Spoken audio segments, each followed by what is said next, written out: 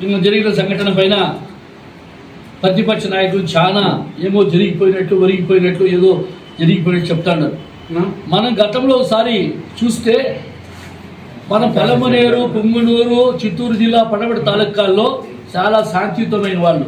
ఎప్పుడు కూడా యా తగరారు వ్యవహారాలు వచ్చేవాళ్ళు కాదు. ఎలక్షన్ రోజు జరిగితే మళ్ళీ మరుసటి రోజు అందరూ కలిసిమెలిసి ఐకమత్యంగా పోయేవాడు ఈ ఒరవడి తెచ్చిందే పెద్దరెడ్డి రామచంద్ర రెడ్డి ఆయన తెచ్చి ఏం చేశాడంటే యాడైతే గలాట్ సృష్టించాలో సృష్టించాడు.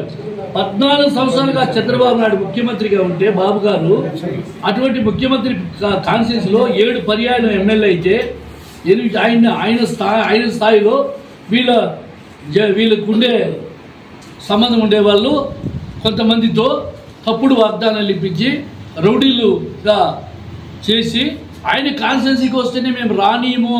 మేము నిలాస్తాము అని చెప్పి దౌర్జన్యంగా బాంబులు వేస్తామని చెప్పి మాట్లాడేది కూడా వెనక చరిత్రలో ఉంది. Party party. అదే విధంగా ప్రతిపక్ష నాయకుడుగా చిత్తూరు జిల్లాలో పుంగునూరుకు వచ్చినప్పుడు వాళ్ళు వచ్చేటప్పుడు పాలకపక్షానికి ఆడ ఏం పనిలే.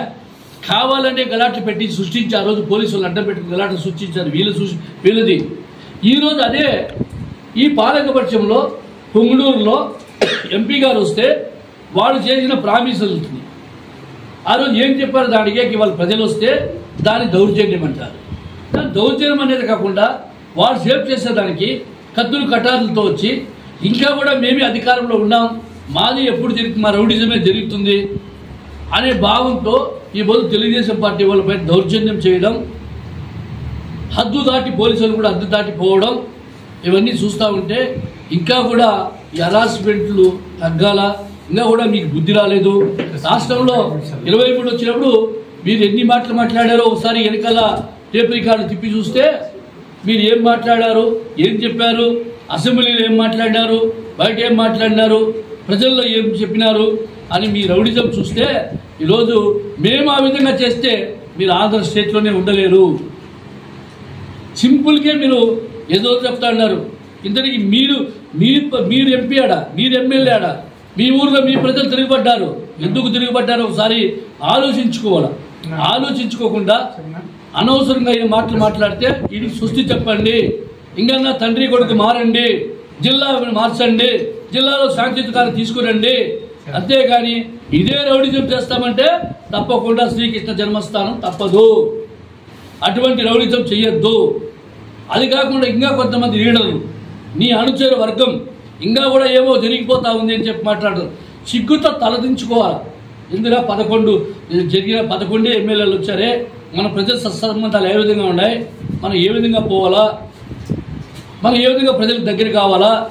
దాని గురించి ఆలోచించండి అంటే అది వదిలేసి యాడొస్తే గొడవలు సృష్టించడం ఆ గొడవలు మీడియాకు ఇవ్వడం దాని అబద్ధాలు ఆడే దాంట్లో చాలా గిట్టోళ్ళు. అది తెలుగుదేశం వాళ్ళు మీకు తిప్పడం ప్రజలందరికీ తెలుసు ఏ పార్టీ వాళ్ళు ఎంతవరకు పోతారో అధికారులకు తెలుసు ప్రజలకు తెలుసు. ప్రజలకు తెలిసారు కాబట్టి నీకు బుద్ధి చెప్పారు. ఆడ కూడా నీ రౌడీలు పెట్టుకుని దౌర్జన్యంగా గుర్తించుకుంటుంది కాబట్టి నువ్వు శాసనసభ్యుడిగా గెలిచావు. లేకపోతే నీకు నీకు డిపాజిట్ కూడా వచ్చేది కాదు. ఎలక్షన్ పెడితే. ఈరోజు ఆ రోజు గవర్నమెంట్ ఉందని చెప్పి దవాయించావు ఈ రోజు నీకు రిజైన్ చేసి నిలబడు. నీకు డిపాజిట్ వస్తుందేమో ఒకసారి చూడు. నీకు అర్థమవుతుంది నీ పరిస్థితి ఏం రాదు కాబట్టి ఇప్పుడన్నా బుద్ధి తెలుసుకొని క్షమాపణ ప్రజలకు చెప్పి గతంలో ఎలక్షన్లు పెట్టి ఎలక్షన్లో మేము పొంగనూరు ఆరు వందల మంది మీద కేసు తప్పుడు కేసులు పెట్టారు. ఆ తప్పుడు కేసుల పైన కానీ ఇప్పుడు పెట్టిండే కేసులన్నా కనీసం పత్రికాముఖంగా నిజమే మేము అధికారంలో ఉన్నప్పుడు ఆహం భావంతో నడిచాం. మీ మీద తప్పుడు కేసులు పెట్టాం. అట్లని చెప్పి మాకు ప్రతి మేము మిమ్మల్ని అడుక్కుంటున్నాం. దయచేసి అటువంటి సాంప్రదాయం సృష్టి పెడతాం అనే మాట నీ నోట్లో వస్తే అప్పుడు జిల్లా బాగుపడుతుంది తప్ప తెలుగుదేశం వాళ్ళకి ఆ సాంప్రదాయము లేదు. మా పార్టీ నాయకుడు క్రమశించిన మా పార్టీ లీడర్స్ క్రమశిక్షణతో ఉంటాము తప్ప ఎట్టి బట్టి పరిస్థితుల్లో దౌర్జన్యాలకు కాదు. మాకు ప్రజలు పరిపాలన ఇచ్చారు. ఆ పరిపాలన ప్రజలు మనోవాళ్ళు మనోవాళ్ళు బంధాలనే ఉద్దేశంతో మేము ఉన్నాం ప్రజలకు మంచి చేస్తాం. ఖచ్చితంగా కూడా ప్రజలకు భవిష్యత్తులో కూడా ఎటువంటి పరిస్థితుల్లో రౌడీలకు మీ రౌడిజంకో లేదా గలాట్లకు పోయేవాళ్ళు కాదు. అటువంటి పార్టీ కాదు అటువంటి నాయకుడు మాకు కాదు. కాబట్టి మీరు కూడా మీరు మీరు మారాలా? ఇప్పుడన్నా మారకపోతే మీకంతా దేవుడు కాదు శ్రీకాకుళం నుంచి. ఇంకా కూడా ఉదాహరణ చెప్తా. శ్రీకాకుళం నుంచి సైకిల్ యాత్రలో తిరు కుప్పానికి వచ్చి తిరుపతికి పోయేదానికి వస్తే వాళ్ళ పార్టీ అభిమానులు.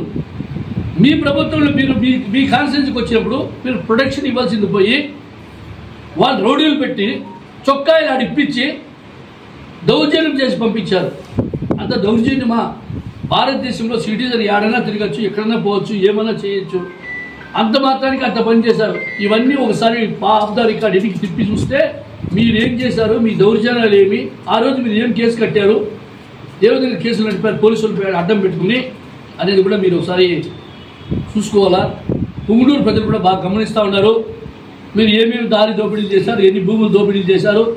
ఎంత పాల్లో దోసుకున్నారు? ఏ ఏ విధంగా మీరు ప్రజలకు ఇబ్బంది పెట్టారు? అవన్నీ కూడా ప్రజలకు తెలుసు. మీకు మీకుండే అనుచర వర్గం ఫోటో నాయకులు ఆడాడ స్టేట్మెంట్ ఇస్తూ ఉంటారు. ఏమో అయిపోయినట్టు ఏమో జరిగిపోయినట్లు వీళ్ళకే ప్రొటెక్షన్ లేదు ఎప్పుడైతే ప్రజల దగ్గర ఓట్లు మనకు ప్రజా విశ్వాసం కోరలేదో అప్పుడు రెండు ముసుగు గమ్ములుంటే మంచిది. దానికి అధికారంగా మరీ ఓవర్గా పోవడం అనేది మంచి పద్ధతి కాదు. ఏమన్నా ఉంటే అభివృద్ధిపై ఛాలెంజ్ చేయండి. మీరు చేయండి అభివృద్ధికి మా అభివృద్ధికి కంపేర్ చేయండి. ఐదు సంవత్సరాలు అమరావతిని అతోకే చేస్తున్నాయి ఈ ప్రాంతానికి వచ్చే నీళ్ళని అంత బూటకం చేసి చేస్తుంది. ఇంకా కూడా అవమానంగా బాధపడాల్సింది వచ్చి బుద్ధి లేక మళ్ళీ మీరు మీడియాకి వచ్చి పేపర్లో వచ్చి స్టేట్మెంట్లు ఇస్తారంటే ఏ ముఖం పెట్టుకుని ఇస్తారు? మిమ్మల్ని ఏమనాలా? ఏ విధంగా ప్రజలు మిమ్మల్ని గౌరవిస్తారు? దాన్ని మీరందరూ కూడా ఒకసారి యోచన చేయాలని చెప్పి తెలియజేసుకుంటూ మీ యొక్క అహంకారానికి ఒక హద్దు పెట్టండి. వాడికి ఒక ఫుల్ పెట్టండి. స్వస్తి పలకండి. అదే విధంగా పోతే ప్రజలు తిరుగుబాటు అయితే మీరు ఆంధ్రలో బతకలేరు వాస్తవం ఇది. కాబట్టి అర్థం